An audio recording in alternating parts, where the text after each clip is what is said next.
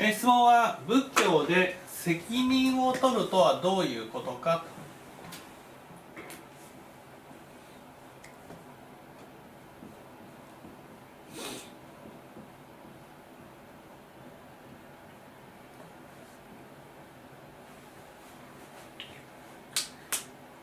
まあ一言で言いますと自分がこの世界における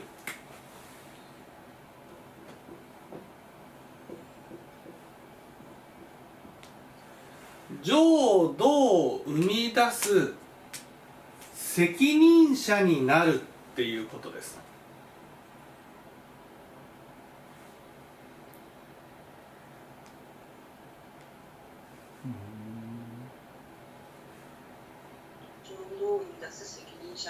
はい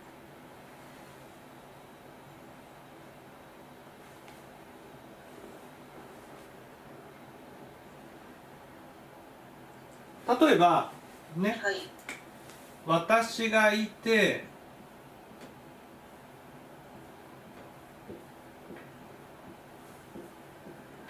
ね。私がいて私を取り囲む人たちがいたならばね。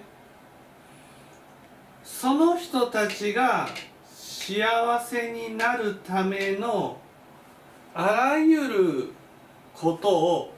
私が用意するっていうことです。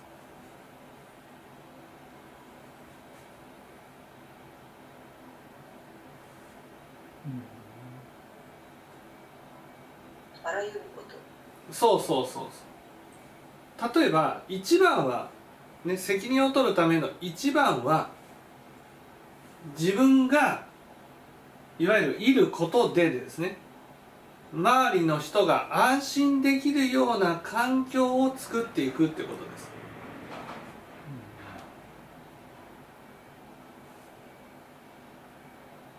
まずは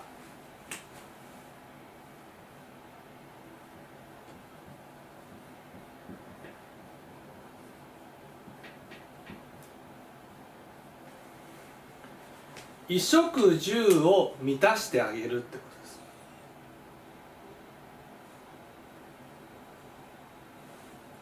当然のごとく衣食住を満たすために必要な洗濯とか料理とかっていうことを滞りなくやれるようにうん準備するってことです。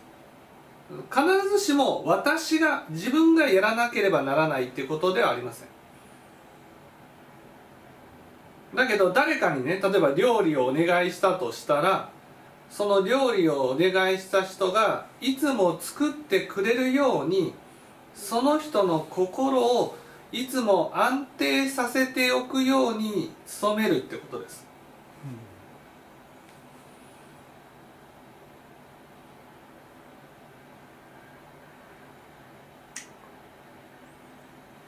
例えばその人が風邪をひいてしまって料理ができないならば私が代わりにすぐに料理ができるようにしてあげるってこ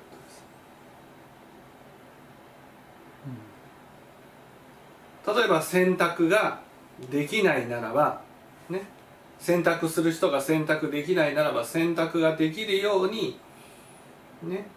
えその人が洗濯ができないならば私が代わりに洗濯をしてあげるってことです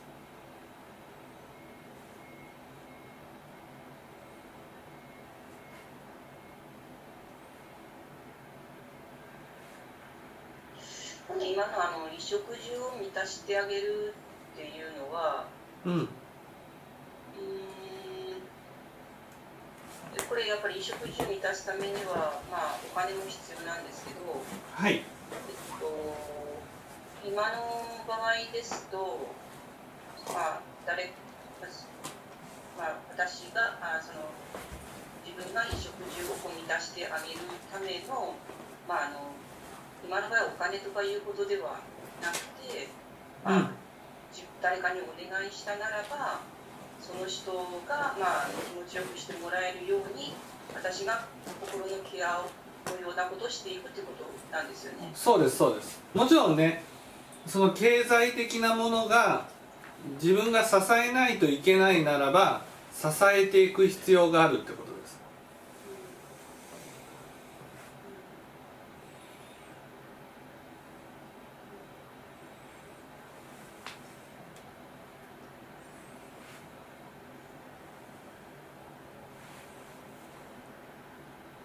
そしてその例えば料理をね作ってくれる人がいたとして例えばまあ自分が年を取ってなかなか体が不自由になったとしてじゃあお嫁さんがじゃあ私がお母さんの分まで料理をしますとかお父さんの分まで料理をしますってなった時に出てくるじゃないですか。お母さんの分の料理はしてあげてもいいけどお父さんの分の料理はしたくないとかって。そしたら？そしたら、えっと、お父さんの分までやってもらえるように、うん。私が動くってことですかね。動く。そう動くってことは頭を下げるってことです。ね。お父さんの分作りたくないって言ったらあ本当にそうよねって話を聞いてねうんでもやってもらえないかいっていうふうに頭を下げてやってもらえるようにするってことです。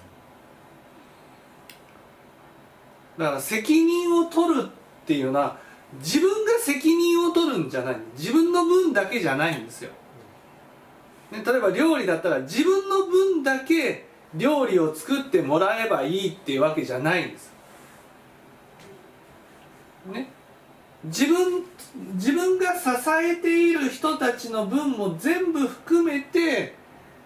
料理を作ってもらわなくちゃいけないんです。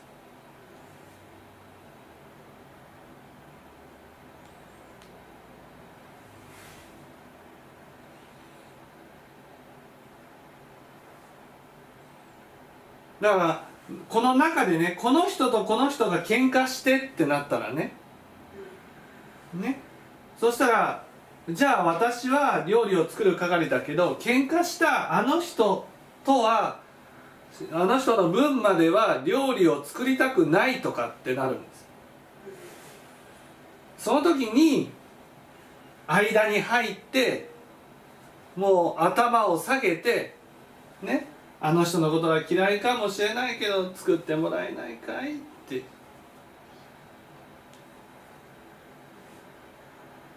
そうやって、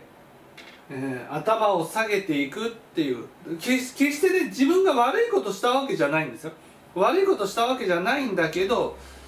その中でみんなが本当に気持ちよく暮らしていくために本当に尽力を尽くすことが責任を取るってことなんです。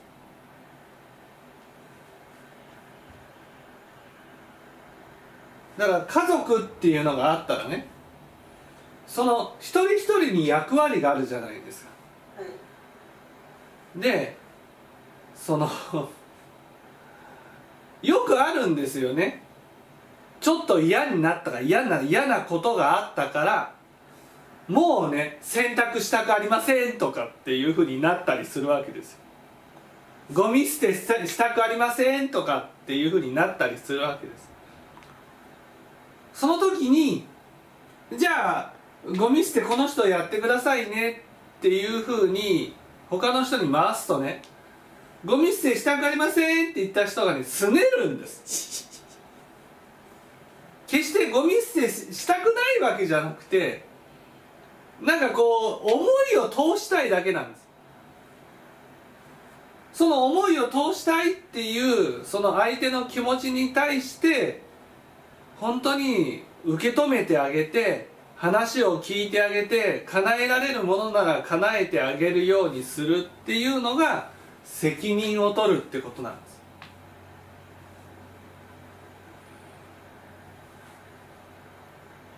であの頭を下げてお願いしますって言っても嫌ですとかしてもらえない場合なんかはどどうするんですかね？いや例えばこの人がみんなから嫌がられてると。してね。そう。そしたらご飯作りたくありませんっていうふうにねなったと。でこち側は洗濯もしたくありませんっていうふうになったらもう自分がこの人の分だけご飯を作ってあげるとか。この人の洗濯物をしてあげるとかそういうことです。そこにあの嫌ですっていうふうに言われてしまった場合にはそれはもうお願いできないっていうことになるんですかね。もちろんそのその時はお願いできないけど関係この人との関係を築き上げて本当に嫌だっていうことは分かってるけどやってもらえないですかねって頭を下げていくってことです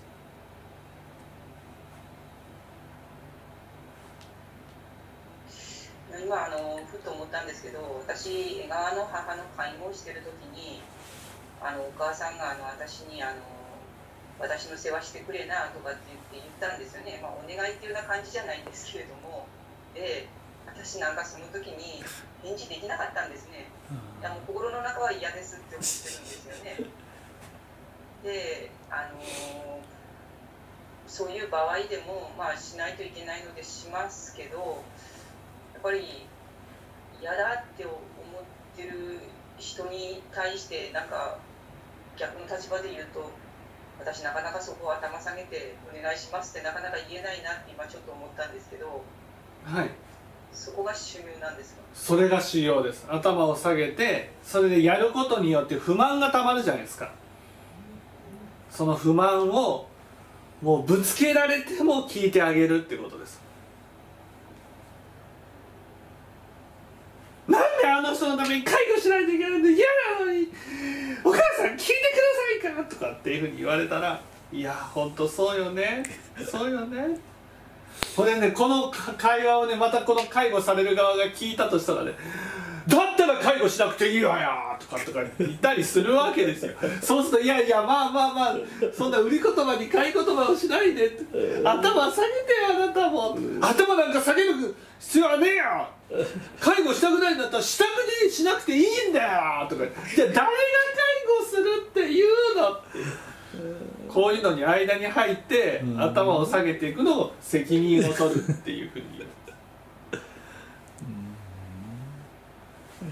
これあの世間で、ま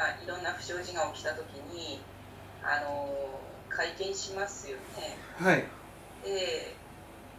まあもちろんそこには誰かが責任を取らないといけないんでしょうけどああいう世間でいうその責任の取り方っていうのは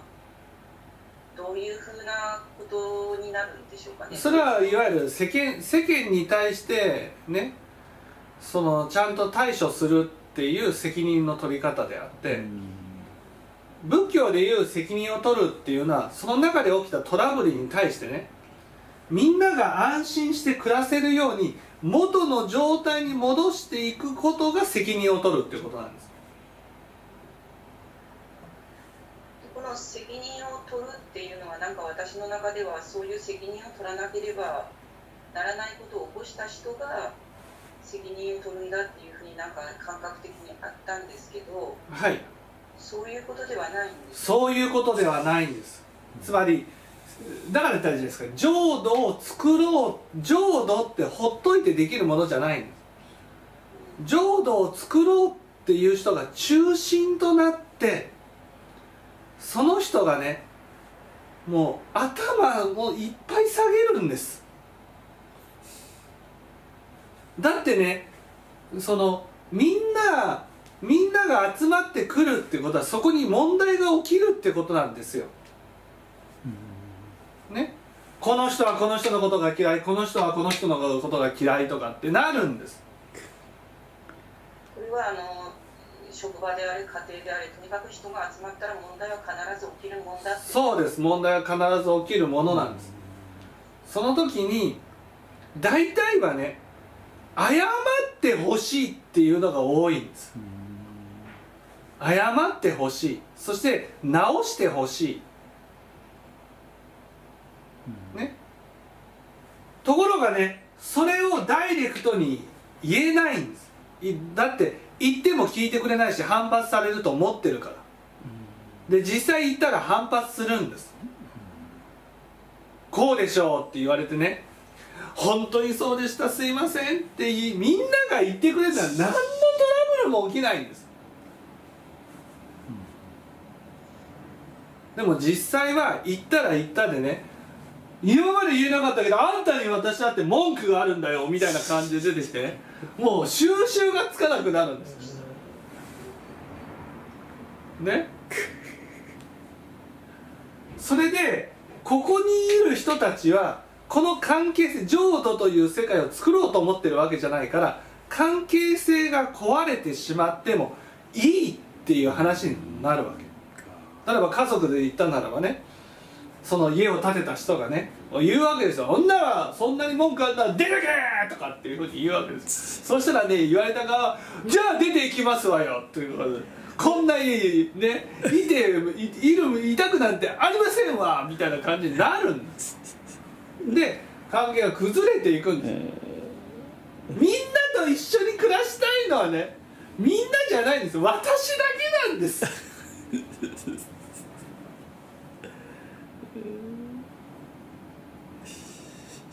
そこで「まあまあまあまあまあそんなこと言わないでください」とかって入って「いや本当に分かる分かる。こっち側分かる分かる。じゃああいつに言ってやれ」とかっていう「いやそれはちょっと」とかっていうふうになる。こういうのをやっていくのが責任を取るってことなんですどっかでね心が折れそうなんですよ。いや別れた方が楽じゃないかと。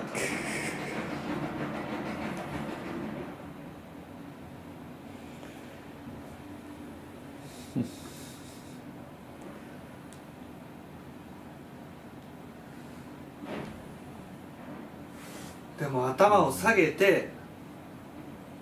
本当にみんなが仲良くやっていけるようにする。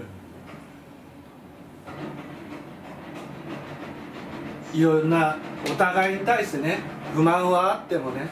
その不満を聞いてあげながらそうだよね仕方ないよねっていうふうにする。でみんな分かってないんですよ。そのお互いが家族だったらお互いが役割があるんですね。その役割をこの人がいなくなったらね誰かがに担わなくちゃいけないんです。でその出ていけって言った人はねその役割をやろうって思ってないから。誰かにやらせればいいと思ってるから。その誰かって言った時にその誰かを率先してやらなければならない人が責任者なんです。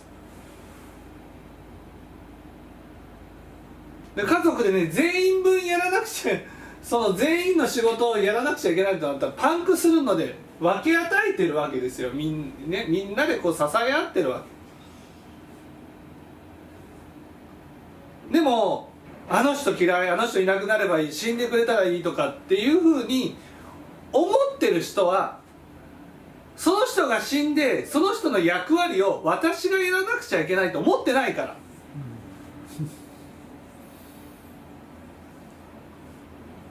ね？思ったらねもっと優しくなるんですよ。例えば洗濯してくれる人料理をしてくれる人に対してね。いや料理をしてくれてありがとうね。美味しかったよとかって言うんです。洗濯してくれてありがとう。もうね料理作る時は何も言わずに食べてね。ね。料理を作ってくれるのは当たり前じゃないんですよ。ね。もしかしたらだよ。あんたたちの分だけは作りたくないってなるかもしれないんです。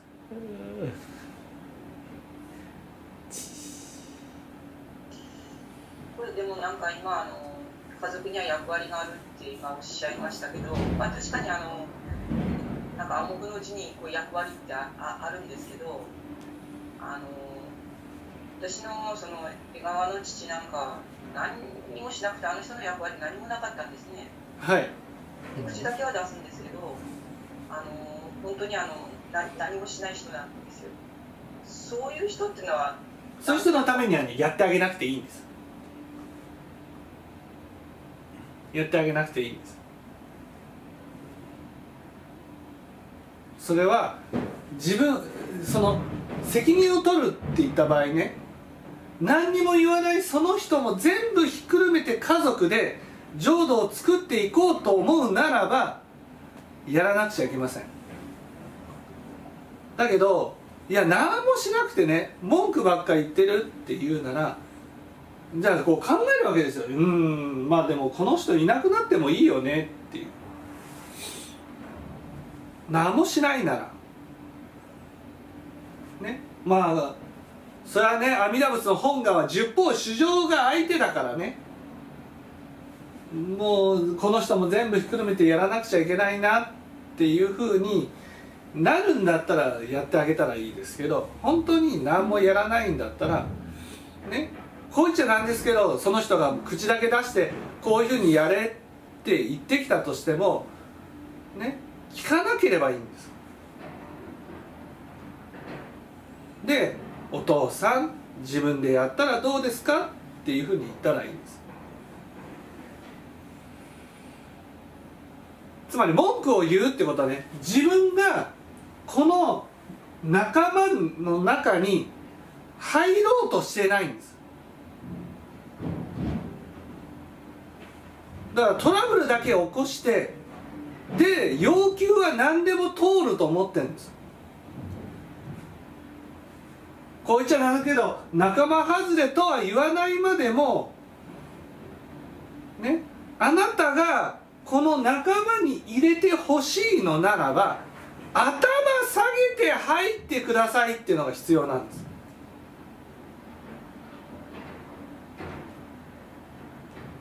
それがなければ本当にね大変ですよ。その人のためにやるっていうことは。それはね浄土を作るこの人にも幸せになってもらいたいと思うならやってあげたらいいけど自分には幸せにしてあげたい人が他にもいてねその人のために十分時間を取ってるってなったらねこの人のためまでなんでやらなくちゃいけないんだろうっていうふうになるじゃないですか。しかも何も家庭のことをやってくれるわけじゃない。つまりこの人が抜けた時にね私たちにとって何のリスクもないと。となったらまあ聞かぬふりでもいいと思うんです。でその人がたまらずにねいやちょっと仲間に入れてほしいって頭を下げてきたらねその時は支えてあげたらいいと思うんです。だからもうね血がつながってるとかつながってないとか義理の父親とかそんなこと関係なくねあくまでも私が幸せにしてあげたい範囲はどこまでかっていうことなんです。自分で決めればいい？自分で決めればいいです。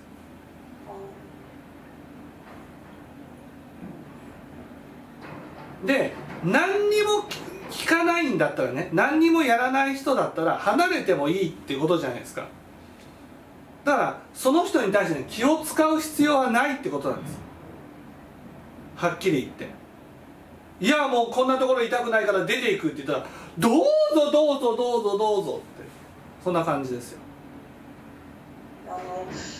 江川の父って本当に何もしない人で口だけ出す人だったんでよく母とトラブルを起こしてたんですけど結局なんか暴力振るったりとかするもんですから母はやっぱり言うことを聞くんですよね、はい、父の言うことをね、である時なんか大喧嘩してあのそれちょうど12月31日だったんですけどあの死んでやるとか言ってお父さんちょっと飛び出していっちゃったんですよ家を、はい、出てくるとか言ってね。でもう心筋梗塞一回起こしてるし私あのおばあさんにそんなもん出てきてしまったけどちょっとこんな寒いのにいたら死ぬって言ったらほっとけばいいって言うし主人はもうなんか酒飲んで寝てしまってるんでもうあのお父さんはちょっとなんか死ぬつけて出たんやけどって言ってもなほっとけばいいって言うんですねで私ちょっと心情的にちょっとそんなほっとくってあれにもならなかったしそんな大晦日になんかよそのうち行ってなんかまたなんかうだうだ問題起こすと嫌だなと思って私も探しに行ったんですよ。で結局私もなんかみんなが「紅白歌合戦」見てる時に一人でおじいちゃん探ししてね。で結局なんか2時間ほどしたらふらふらっと帰ってきたんですよね。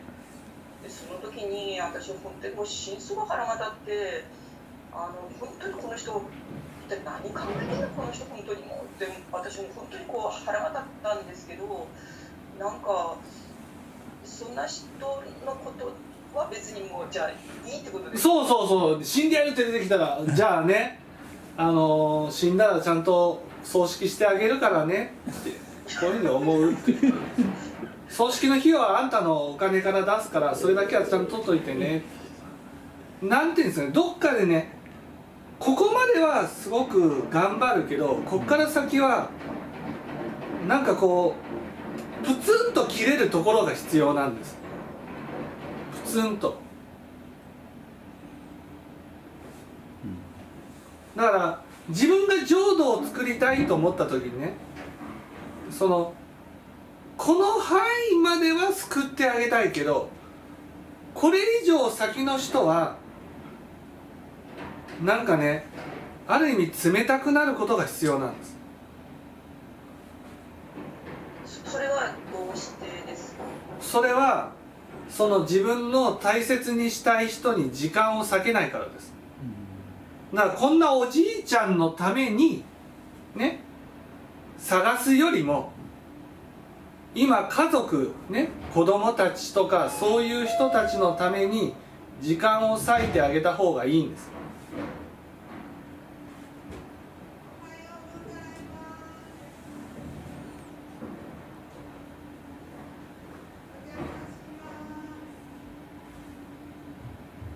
そっちの方が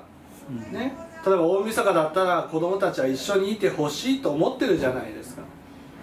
そしたらどっちを優先しなくちゃいけないかなんです。幸せにしてあげたい範囲がおじいちゃんもだったら探していかなくちゃいけないけどだけど子供たちのことを考えたら子供たちと一緒に過ごしてあげた方が子供たちの幸せにつながりますよね。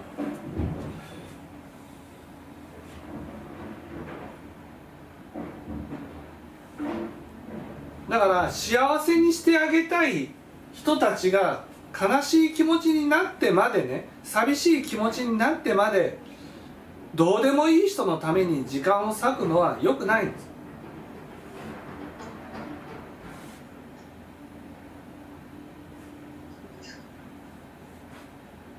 なんかおじいちゃん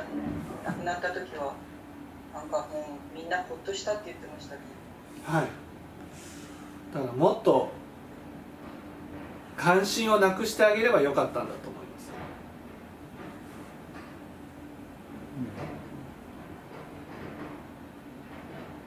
す。ね。例えば暴力を振るったらね容赦なく警察を呼ぶんですたとえ家族であっても傷害にね傷害罪として捕まえちゃえばいいわけです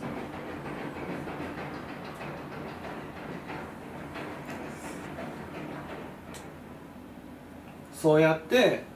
なんていうんですかね本当に大切なものを守っていく姿勢が大事なんです。それが責任を取るってことなんです。家族の中で、まあ、あの責任を取るっていうのは、まあ、今のその江川の父のような人までも含む必要はないという。ないです。はいあーそうなんですか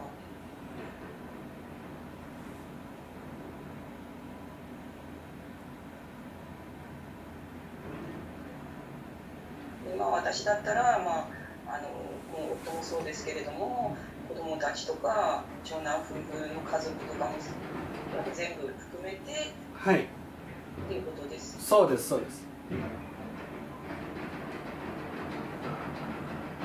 これじゃああの実際にですねあの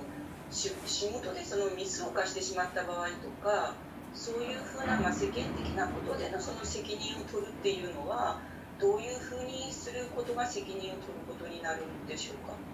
それはそのいわゆる代償を払うっていうことですあのは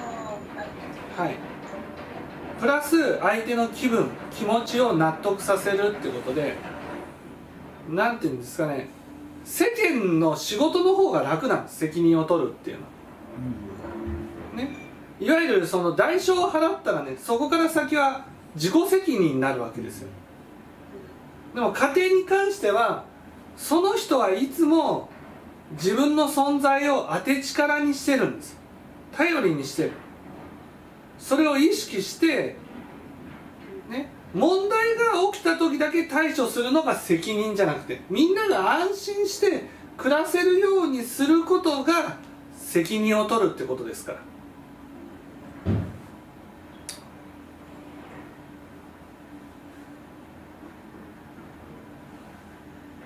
これあのちょっとあのうちの会社であったんですけどあの交通事故を起こしてであのまあ要するにその保険会社から保険金が下りることになったんですね。とあの要するに起こしてしまった事故に関してはもうどうしようもないことなので、まあ、そのためにまあ保険入ってるわけですから、まあ、そこでこう保険金をこう受け取ってもらうって形なんですけど事故を起こした加害者側からするとその責任を取るっていうのは、えっと、きちんと保険金を会社、ね、その保険会社に払ってもらうっていうそういうことになるんですか？代償払うって。そうですね。それ以上のことに関してはその家庭ねそのかがそのなんていうんですかね。その家庭に対して責任を取ってくれる人に話をしたりとか自分の心例えば事故を起こすじゃないですか、はい。ね、で被害者の側の人は保険金がもらえるわけですよね。でも被害者としては自分の大事なものをこう怪我してることによって失ってるわけじゃないですか。そのいろんな感情みたいなものも加害者側に責任を取ってもらおうとするわけです。はい。でも現実にはいわゆる事故を起こした時にね謝ることは大事かもしれないけど自分が納得できるぐらいの責任を加害者の人はお金を払うということでもうチャラにしてもらいたいっていう感じなわけですよ。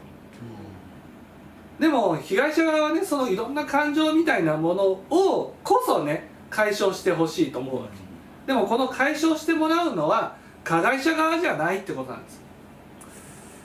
被害者側の家族にいろんな気持ちを聞いてもらってねやっていかなくちゃいけない。だからその被害者側被害者側で浄土を作る人が必要なんです。いやなんかやっぱりその保険金の支払いもちゃんと決まったのにもかかわらずなんかそのもらった保険金が少ないとかでなんかちょっとどかずめいたことをこうその加害者の人に言ってくるような人もいるんですけど、まあ、そういう場合にはもう犯罪だから警察呼べばいいと思いますよって話してたんですけどなそれなんかもどうでしょうかね。その加害者からしたら責任者ってな責任を取るっていうことになったらそこまでの責任は負わなくてもいいってことですよね。そうです。そうですはい。だからその被害者側の浄土を作る人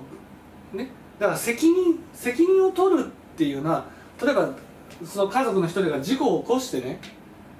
そして加害者側にいろんな不満があったとしたらね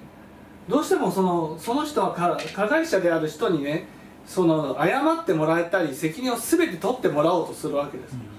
でも現実にはそのなんていうの保険が下りてその保険の分までしか対処してもらえないんです。それ以外のいろんなことはそのいろんな感情は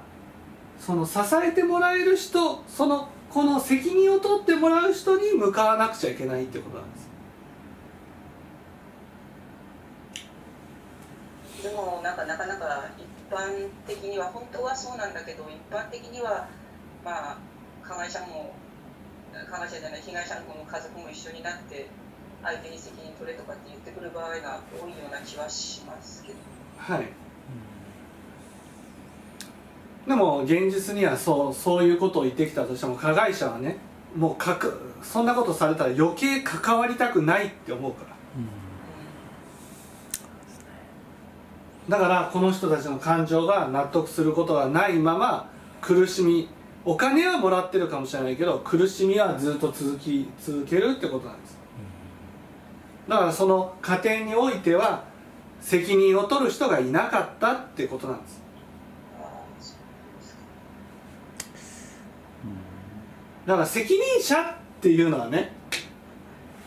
この家庭において起きるトラブル一切の責任を取るってことなんです。誰がやったかは関係ないんです。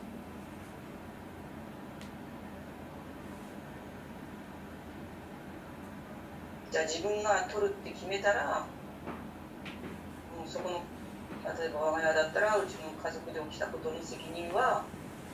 私が取ると。そうそうそう結構な覚悟が必要ですね。結構な覚悟必要です。大体自分が悪くもないのに責任取りたいなって思う人は でもその浄土を作りたいみんなで幸せな世界を作りたいって思ったらそういう覚悟は必要ってことです。だか